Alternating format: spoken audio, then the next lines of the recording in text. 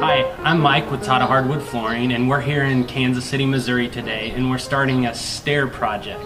And whenever I do estimates on stairs, the number one question I get is, aren't hardwood stairs really expensive?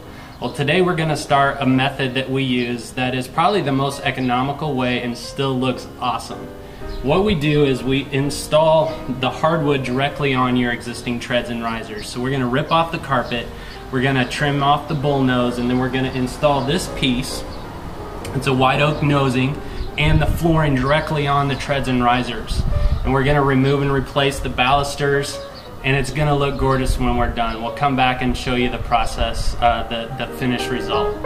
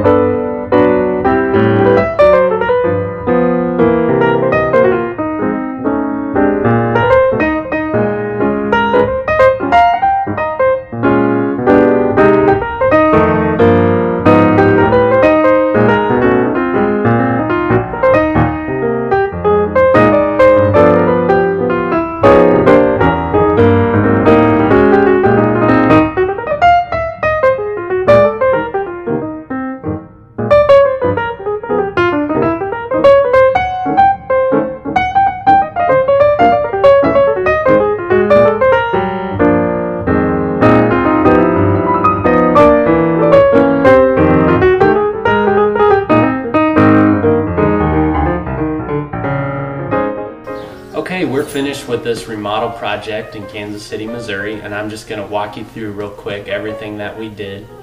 We were able to keep the main structure of these stairs, so we didn't have to do a complete stair rebuild. We did keep the existing treads and risers, we just trimmed them out, and we installed solid oak treads that you see, and then paint grade risers.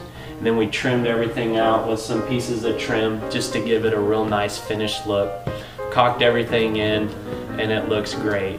We also were able to keep the existing balusters that were installed before. We didn't have to replace those. We just removed them and then reinstalled them into the hardwood floor.